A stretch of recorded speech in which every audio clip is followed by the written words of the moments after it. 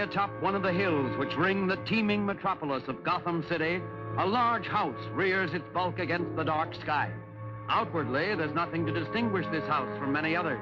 But deep in the cavernous basements of this house, in a chamber hewn from the living rock of the mountain, is the strange, dimly lighted, mysteriously secret Bat's Cave, hidden headquarters of America's number one crime fighter, Batman. Yes, Batman, clad in the somber costume which has struck terror to the heart of many a swaggering denizen of the underworld.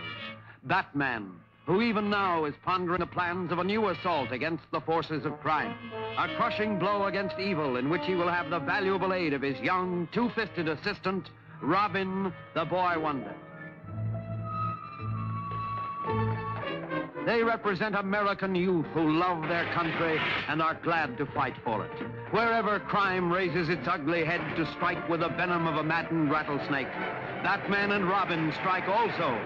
And in this very hour when the Axis criminals are spreading their evil over the world, even within our own land, Batman and Robin stand ready to fight them to the death.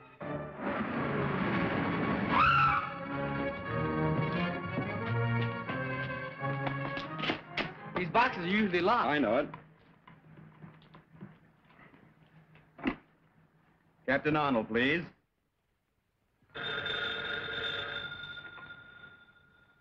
Captain Arnold speaking. I have a nice little package for you.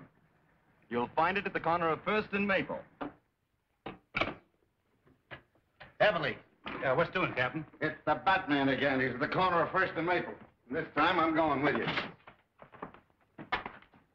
Calling car 67. 67. That's us. Go to First at Maple.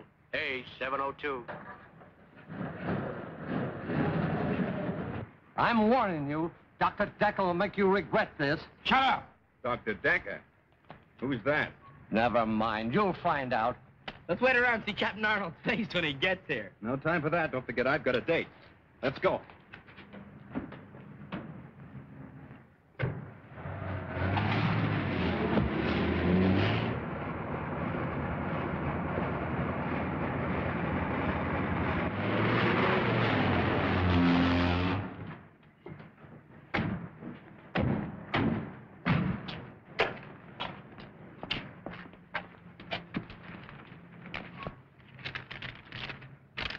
You'll recognize these as the last two men of the Collins gang.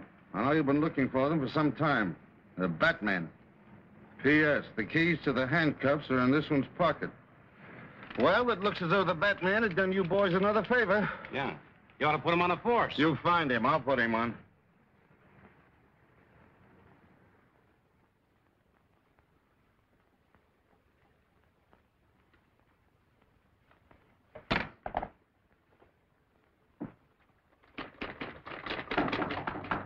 Come in. Hello, Linda. Hello. I'm just finishing up. I won't be a minute. Oh, no hurry. I'll just relax a moment. It may settle my nerves. Listen, will you keep your hands out of there? You've had your usual busy day, I suppose. Yep. Up at the crack of noon, a brisk walk to the corner, and then the club for a rugged afternoon of gin rummy. Maybe you'll be too tired to go with me tomorrow to meet Uncle Martin. No, no, I'll be right with you. Thanks. Oh, it'll mean so much to him to know that he still has his friends despite all that trouble he was in. Only do me a favor. Let's not start too early. I'm always tired in the morning. All right.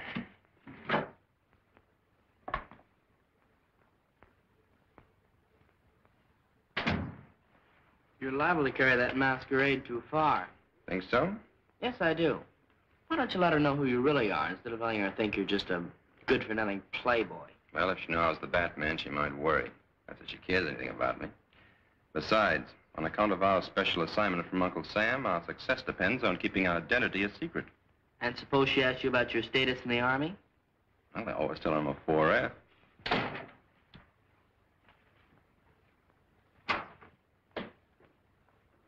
That was fast. Well, I don't keep people waiting like someone I know. Read all about it. Read all about the Batman. Captures Collin gang. Extra, extra. Hey, boy, paper. Oh.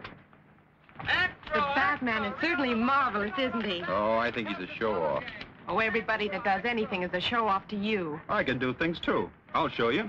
I'll call for you tomorrow and take you to meet your uncle no matter how early you want to leave, even if it's before noon. It's nice of you to make such a terrific sacrifice on my account.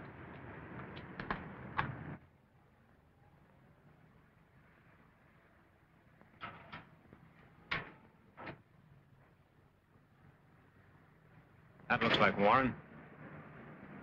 Yeah, that's him. My old cellmate.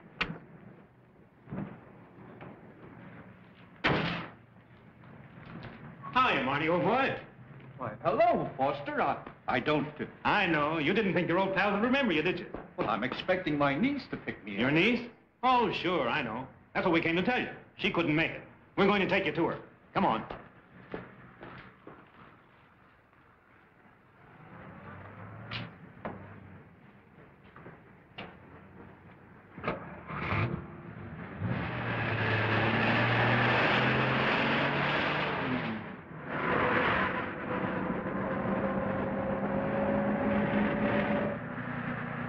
That looked like my niece in that car.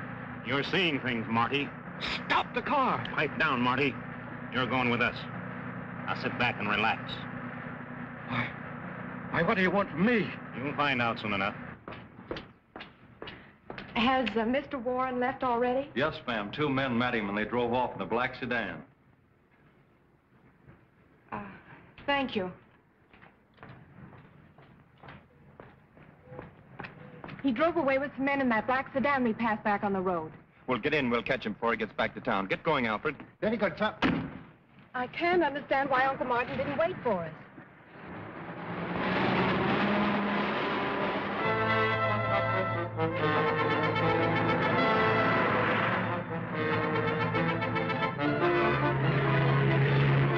Hey, that car with a dame in it's right back of us.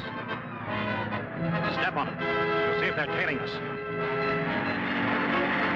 They're speeding up, sir. Drive a little faster, Alfred. They're trying to lose us. I have a strange feeling that Uncle Martin is in some kind of trouble. They're gaining on us. Can't you get any more speed out of this jalopy?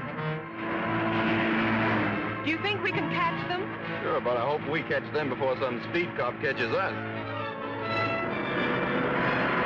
They're out of sight. Release the gas and make the change.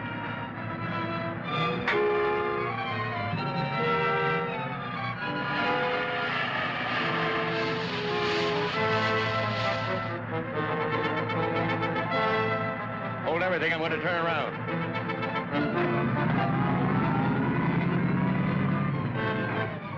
Here they come. Get down. They passed us. Didn't give us a tumble.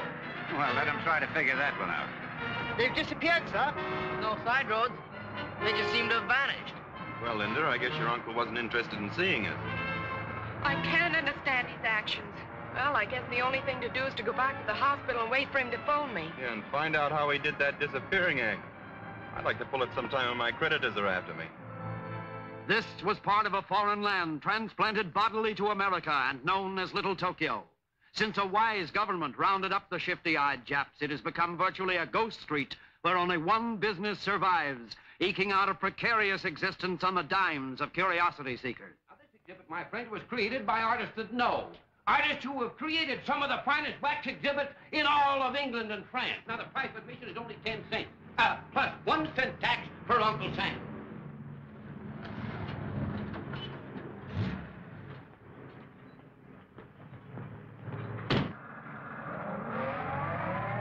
Not going to have any trouble with you, Marty, are we? Not only entertaining, Now you're being smart. It's, it's educational.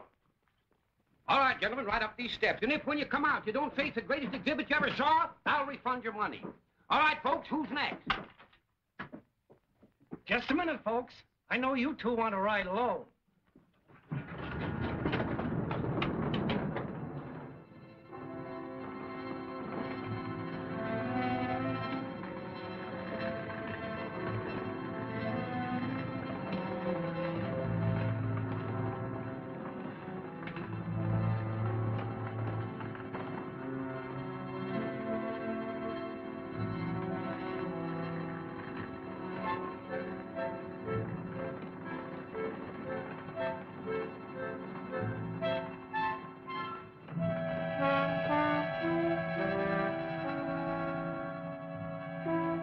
Line, Monty.